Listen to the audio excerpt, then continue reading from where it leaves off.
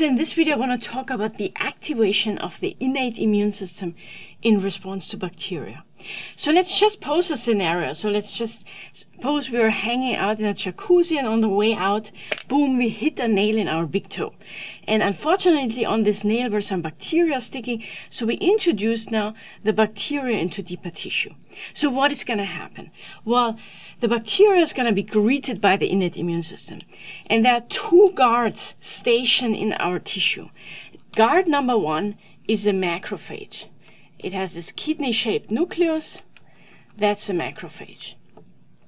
So macrophage, macro is Greek for big, and phage is Greek for eater.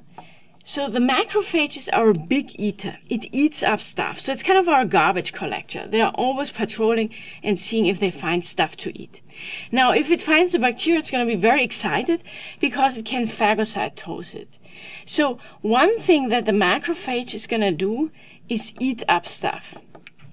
So the macrophage will kind of engulf the bacteria and eat it up. So that's kind of the mouth of the macrophage and the bacteria goes in it, engulfs it and eats it up by phagocytosis. So that's one thing that the macrophage is going to do. The other thing that the macrophage is going to do, it's going to call for help. So the macrophage is very important for us also for the immune response in recruiting other cells and making a good setup so that more cells can come to the site of infection and help clear the infection. And therefore, because the macrophage does these two things, eating and kind of calling for help, I also want to give the macrophage a slogan. We're going to give every cell a slogan, which is eat and call. Because that's really what the macrophage is going to do eating up stuff and calling for help. So now the question is, how does it call for help? So this is our macrophage.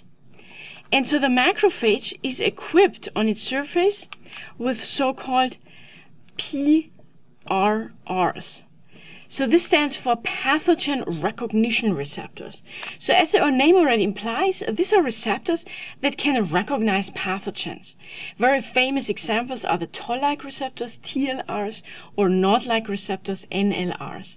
And these are just receptors that upon stimulation, so when they kind of see a bacteria and specific surface molecules, they are going to send a signal to the nucleus and then the macrophage will react to it by producing pro-inflammatory cytokines. And famous examples are going to be TNF or IL-1. And what are they doing? Well, it's already in the name pro-inflammatory. So they trigger inflammation. So what is inflammation? Well, if you hit a nail in your big toe, how is a toe gonna look? Well, it's red, hot, and swollen. That's inflammation. Red, hot, swollen. And how is that mediated and how is that helping us to get rid of the pathogen? Well, if um, we TNF, let's say, triggers redness heat and, and swelling, what does it do? Well, it, for example, mediates arteriolar dilation. So the smooth muscles are going to dilate. As a consequence, in a nearby blood vessel, which I've drawn here, here's the capillaries, these are the endothelial cells, then there's going to be increased blood flow because it's going to mediate vasodilation, blood flow. If there's increased blood flow, well, there's increased capillary pressure, and then also what uh, pro-inflammatory cytokines do is they make these little gaps. They kind of lead to endothelial contraction so that the endothelial cells get actually a little bit smaller. And then kind of you increase capillary pressure. You can get more stuff just into the tissue. So more cells can arrive. Then what else is going to happen?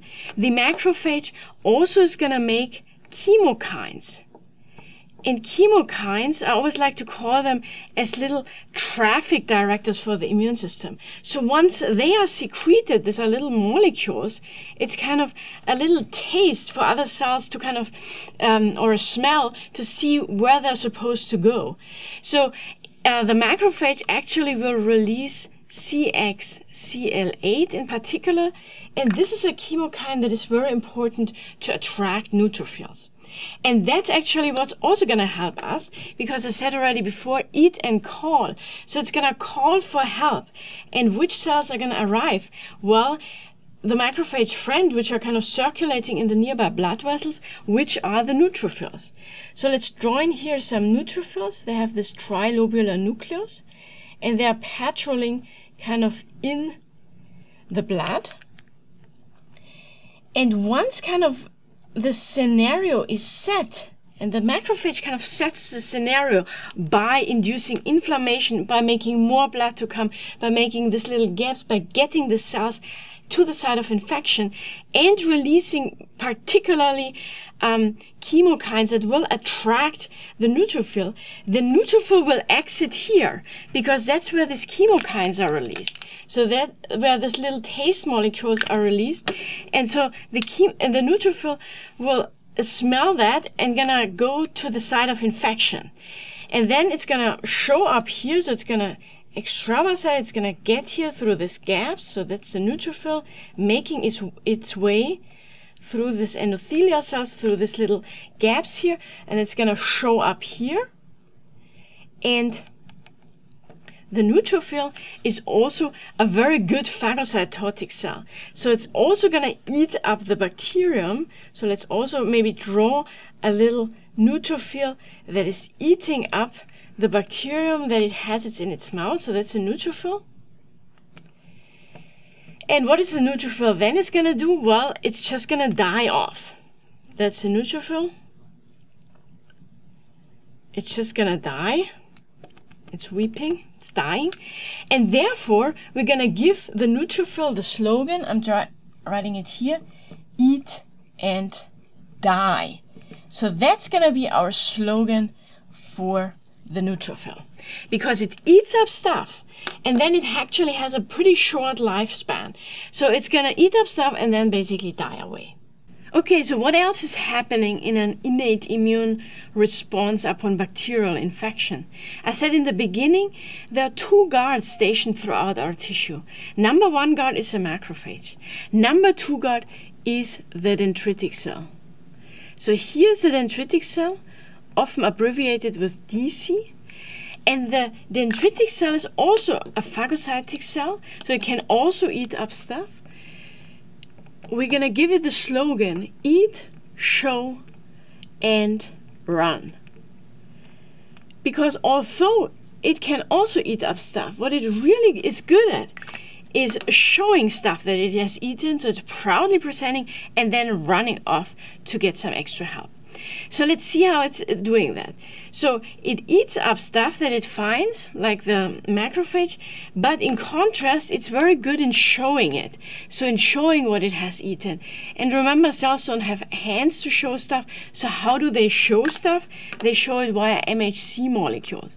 So it's going to show a part of what it has eaten, some sort of a peptide, and then it's showing it and running off.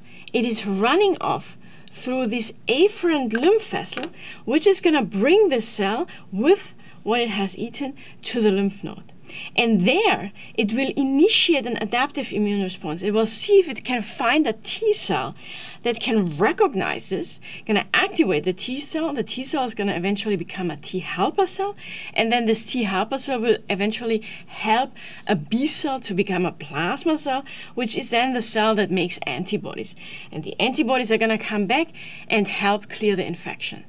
So you can see here clearly that the dendritic cell job is a very important one because this is going to be the cell that's going to get the specialists, that's going to get the experts, that's going to activate the adaptive immune guys to produce their weapons, and then the weapons are supposed to come up, come back via the thoracic duct. Here is going to show up in in the blood vessel, and then because we have um, these little gaps here, um, these let's say antibodies will also get to the site of infection and help clear the infection.